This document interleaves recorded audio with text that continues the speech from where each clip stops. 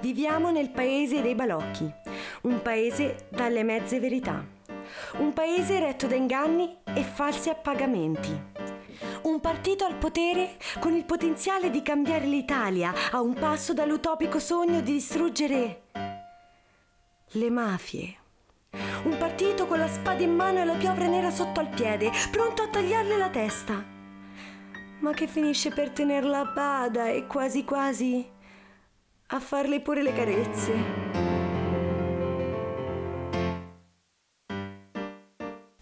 Un partito che continua a promettere ma non ama molto mantenere le sue promesse. Forse quel profumo di potere gli ha dato un po' alla testa come a tutti i suoi predecessori. E allora cosa è meglio? Una destra mafiosa, fascista e criminale? Una sinistra all'aspetto dolce e tiepida, ma in realtà omertosa che finisce per fare lo stesso gioco della prima? Di questo si tratta il Movimento 5 Stelle, il cosiddetto Partito del Cambiamento. Anche se poi il vero cambiamento non lo abbiamo ancora visto. Sebbene stimiamo molti suoi membri, è evidente che certi suoi esponenti si stiano mostrando per ciò che realmente sono. Dei simpatici pagliacci. Caro Ministro della Giustizia Alfonso Bonafede, in qualità di giovani cittadini abbiamo delle domande da porle. Perché nel 2018 offre al magistrato Nino Di Matteo, simbolo della lotta alla mafia, il ruolo di capo del distretto amministrativo penitenziario per poi, il giorno dopo, ripensarci e rimpiazzarlo con un altro magistrato di minore competenza? Chi gli ha fatto cambiare idea durante quelle 12-24 ore? Chi è stato?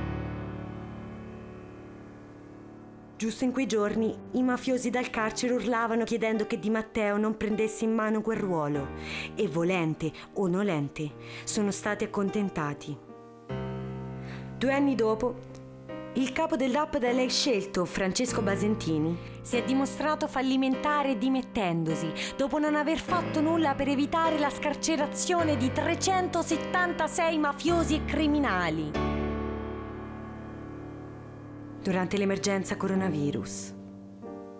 E di questo lei, Ministro, ne è il diretto responsabile. Lo scandalo è uscito solo ora, quando ha scelto di nominare il dottor Petraglia al DAP, facendo, ancora una volta, una scelta a nostro parere sbagliata. I 686 atti che ha firmato per il 41 bis, una scorta per amica e altri meriti di cui si è vantato durante Non è l'arena di Giletti, non sono delle giustificazioni.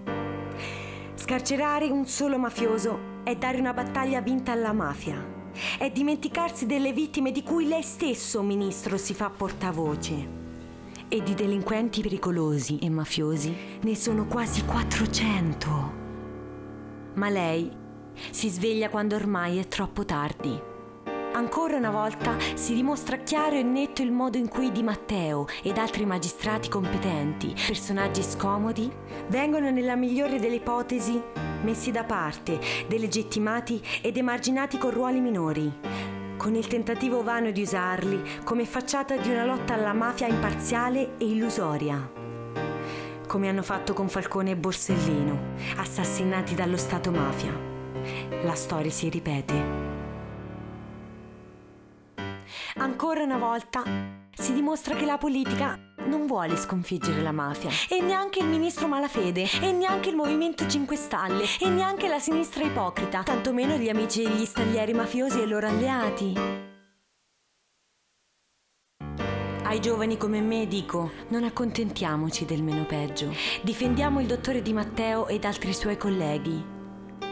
Gli unici che oggi ci danno ancora la fierezza di essere italiani e non dimentichiamoci che solo grazie al nostro impegno non potranno fermarli. Ma noi restiamo ancora con delle domande aperte. Che cosa è successo quella sera del 18 giugno 2018?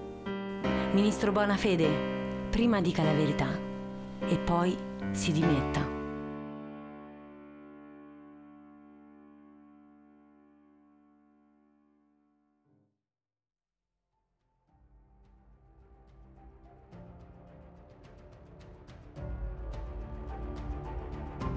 Buona fede, dica la verità. Buona fede, dica la verità. Dica la verità. Buona fede, dica la verità. Buona fede. Buona fede. Buona fede. Buona fede. Buona fede. Buona fede. Buona fede. Buona fede. Buona fede. Buona fede. Buona fede. Buona fede. Buona fede. Dica la verità.